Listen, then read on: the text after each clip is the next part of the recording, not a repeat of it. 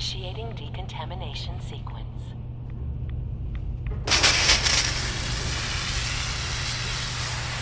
Decontamination complete. You may proceed.